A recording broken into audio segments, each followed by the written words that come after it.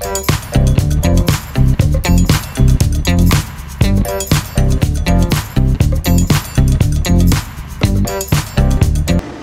Das Wetter kommt den Bauarbeitern an der B229 zwischen Langenholthausen und Benkamp sehr gelegen. In der Zeit wird der Graben für die Verbreiterung ausgehoben und da ist jetzt die Erde schön trocken. Die Verbreiterung um 50 cm auf dann 6,50 Meter wird vom Ortsausgang rund 1,5 Kilometer in Richtung Benkamp fortgeführt.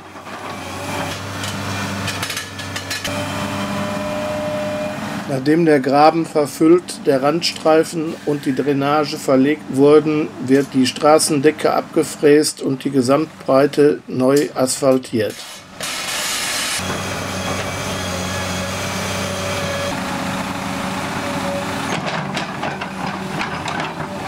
Bis Ende August soll die Baustelle abgeschlossen sein, wenn keine Probleme auftreten. Die gab es bereits. Ein Telefonkabel nach Benkamp lag im Graben, doch niemand weiß, wo es demnächst verlegt werden soll.